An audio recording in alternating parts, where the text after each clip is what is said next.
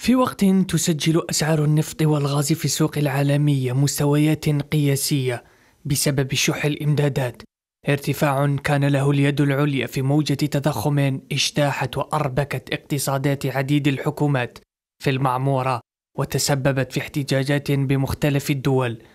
تسجل أكبر شركات النفط والغاز العالمية وفي مقدمتها إكسون موبيل وشيفرون أرباحا ضخمة في الربع الثالث من العام الجاري مستفيدة من ارتفاع أسعار الطاقة وتأثيرات الحرب في أوكرانيا.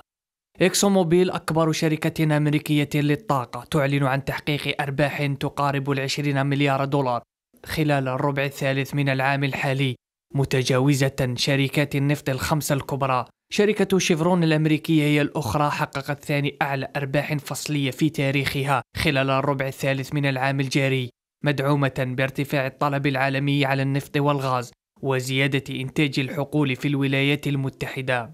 الشركة الأمريكية أعلنت أن صافي أرباحها سجل 11 مليار دولار فاصل اثنين خلال الفترة الممتدة من جوان إلى نهاية سبتمبر مقارنة بستة مليارات دولار فاصل واحد خلال نفس الفترة من العام الماضي.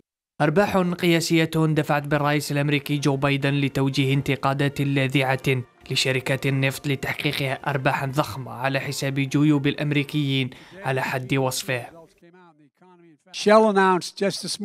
أعلنت شركة شيل أنها حققت أرباحا بقيمة 9.5 مليار دولار في الربع الثالث وهذا أكثر من ضعف ما حققته في الربع الثالث من العام الماضي. وبالتالي فإن أرباح المساهمين ومديرهم التنفيذيين مستمرة بدلا من الذهاب إلى خفض الأسعار في محطات البنزين والتخفيف عن كاهل الشعب الأمريكي.